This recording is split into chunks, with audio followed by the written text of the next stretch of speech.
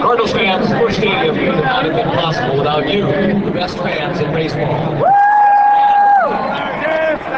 And one last custom. Give our fans the honor of singing the national anthem on the final home game of the season. I couldn't think of a better way to present New Stadium than by borrowing from tradition.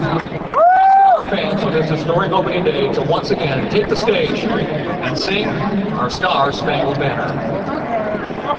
Following the anthem, direct your attention overhead.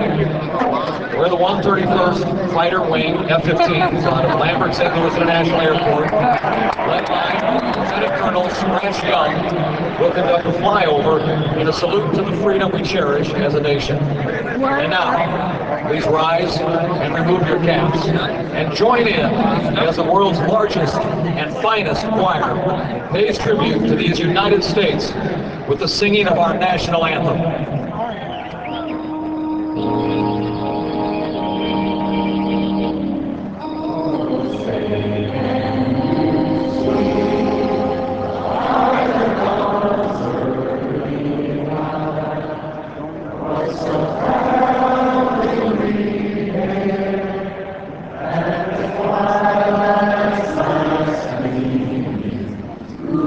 What so gallantly stream